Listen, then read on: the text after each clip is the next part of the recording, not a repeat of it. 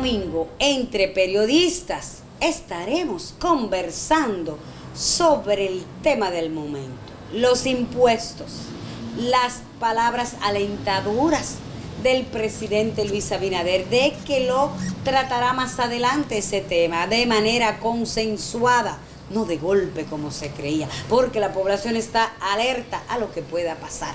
Y también estaremos conversando sobre el Premio Nobel de la Paz que este año ha recaído en el programa de alimentos, la lucha contra el hambre, ese flagelo que nos abate desde siempre y con lo que todos somos solidarios. Pero el COVID no sale de la palestra y como siempre estaremos eh, conversando las novedades y ahora con estos programas de entretenimientos que la gente está creando para pasar estos días tan angustiantes. De eso estaremos hablando este domingo por Hey Televisión, Canal 56 de Claro.